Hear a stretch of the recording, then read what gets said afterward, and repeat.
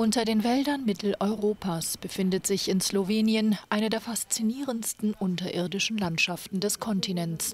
Ein Paradies für Speleologen, diejenigen, die Höhlen erforschen. Die Schluchten, Seen und Flüsse werden von Lebewesen bewohnt, die nie das Tageslicht gesehen haben.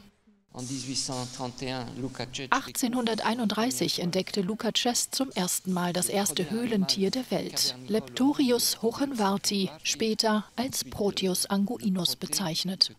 Der Grottenolm kann bis zu 100 Jahre alt werden, erreicht eine Länge von 25 bis 35 Zentimeter und kann zwölf Jahre lang ohne Nahrung auskommen. Es gibt viel über ihn zu sagen. Die mehr als 1000 Höhlen sind über ganz Slowenien verteilt. Die größten und schönsten lassen sich in der westlichen Region Karst mit seinen großen Kalksteinvorkommen finden.